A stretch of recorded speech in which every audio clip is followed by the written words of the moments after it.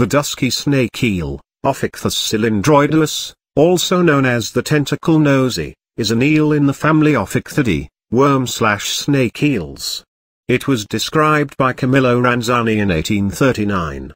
It is a tropical, marine eel which is known from the western Atlantic Ocean, including Cuba and Brazil.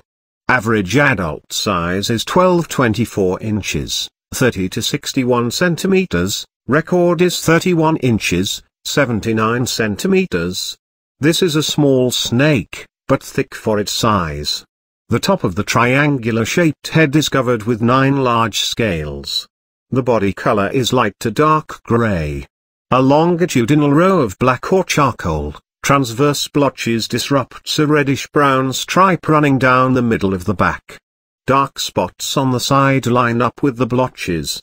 The tail is slender and ends in a small rattle. The belly is heavily mottled with black and white. The pupil of the eye is vertical, cat-like, and there is a deep facial pit between the nostril and eye.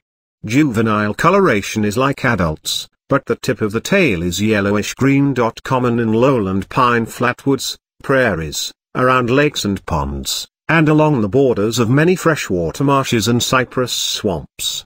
Possibly the habitat in which dusky pygmy rattlesnakes are most frequently encountered, at least in southern Florida, is the banks of canals running through marshes and prairies.